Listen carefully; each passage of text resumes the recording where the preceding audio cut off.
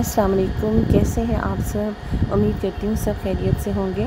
आज मैं बनाने लगी हूँ बॉम्बे बिरयानी। तो उसके लिए मैंने ले लिया है वन एंड हाफ़ के जी चिकन और ये फ़ाइव टू सिक्स ऑनियंस हैं जो थिनली स्लाइस्ड इसको कट कर लिया है। ये four to five medium size के टोमेटोज़ काट लिए हैं। ये अदरक है और सब्ज़ मिर्चें उनका कूट लिया है फ्रेश कूट लिया है। इसमें जनाब ये बॉम्बे बिरयानी मसाला है और कुछ मेरा होम मेड है। नमक है और मिर्चें हैं। आप अपनी चॉइस के मुताबिक कम ज़्यादा कर लें। ये पुदीना है और सब्ज़ धनिया है। तो ये भी आप अपनी चॉइस के मुताबिक कुछ कम ज़्यादा कर सकते हैं। ये साइड पर धनिया है। और ये क्योड़े के बीच में मैंने जर्द रंग को मिलाया है। तेज़ पत्ता है, आलू बुखारा, इमली है, जायफल जावित्री है, ज़ीरा है, इसके अलावा लौंगे हैं, ये सब है और ये चावल मैंने तकरीबन सेला चावल साढ़े तीन गिलास इसे भिगो दिया। यहाँ पर मैंने एक बड़ा पैन ले लिया है और उसके बीच में ऑयल डाल दिया है। थोड़ा सा ऑयल से ये होगा कि चावल आपके जो से वो खिले खिले बनेंगे, बहुत अच्छे होंगे। तो इस वक्त मैंने फ्लेम जन से वो हाई रखा हुआ है और बॉम्बे बिरयानी में थोड़ा सा ये होता है कि खड़े मसालों का इस्तेमाल होता है। तो ये देखिए बॉयल्ड होते हुए पानी में जो अभी मैंने आपको खड़े मसाले अपने दिखाए थे, वो सब इसके बीच में मैंने ऐड कर दिए हैं। तो बाकी जो मसाले हैं वो तो जब चिकन वगैरह कुक होगा, उसके अंदर जाएँगे। लेकिन ये कि जितनी देर अब ये पानी होता रहेगा और वो मसाले अपना फ्लेवर उसमें छोड़ते रहेंगे। जब मैं चावल डालूँगी तो बहुत अच्छे उसका ऑलरेडी टेस्ट आ जाएगा।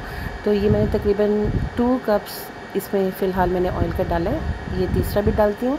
तो अगर मुझे ज़रूरत महसूस हुई, बाद में थोड़ा सा और ऐड कर लूँगी।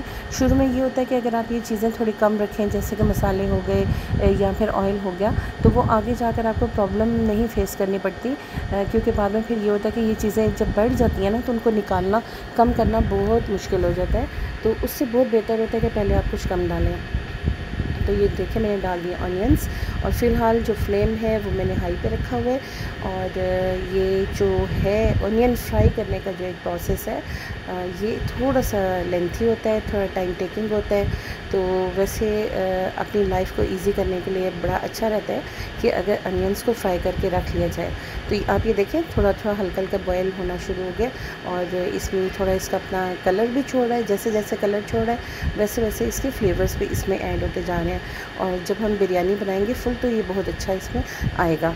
तो ये मैं इसमें चावल ऐड कर रही हूँ और चावल अभी चावलों के साथ ही बॉयल होता जाएगा और बहुत अच्छा बन जाएगा। तो साथ में ये प्याज भी मेरी हो रही हैं, ब्राउन की तरफ़ इनको लेकर जाना है। बहुत अच्छा ब्राउन करना है, चूँकि बॉम्बे बिरयानी है। बॉम्बे बिरयानी में हर चीज़ बहुत अच्छी कुकड होती है। तो आप ये देखें मैं इसमें दम नहीं लगाऊँगी, इसलिए मैं इसे 100 परसेंट कुक कर लूँगी।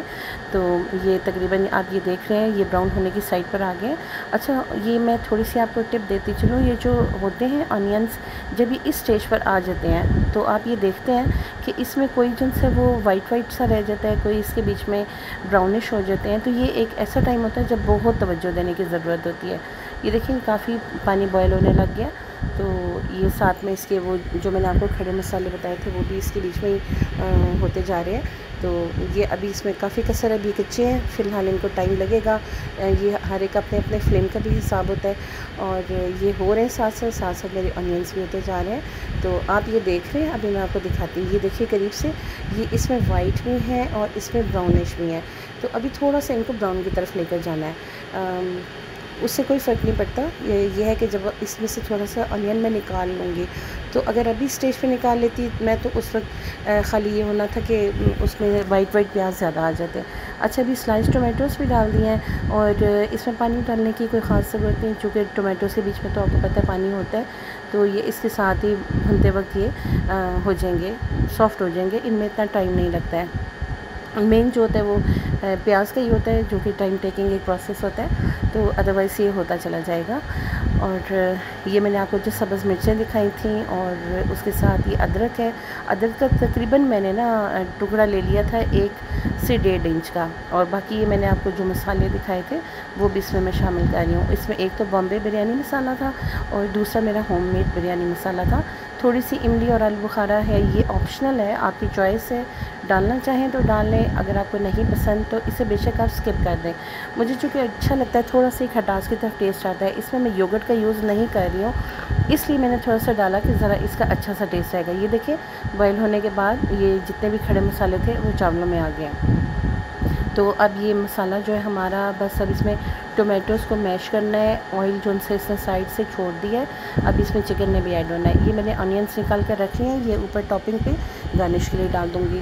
तो आप ये देख रहे हैं टोमेटोज़ काफ़ी हद तक सॉफ्ट हो चुके हैं। इनमें इतना टाइम नहीं लगता है, ये बहुत ईजी होते हैं। इनको बस ये कि थिनली स्लाइस कर लिया जाए तो ये टाइम टेकिंग नहीं होता चिकन मैंने ऐड कर लिए और ये चिकन थोड़ा सा टाइम लेगी क्योंकि इसकी, ये थोड़ी इसकी बड़ी जो है ना, ये इसके स्लाइस जो बने सॉरी पीसेज हैं, ये थोड़े बड़े हैं। तो इसमें थोड़ा सा टाइम लगेगा, इसलिए मैं हल्का सा इसमें पानी भी डालूँगी इसे भूनने के बाद।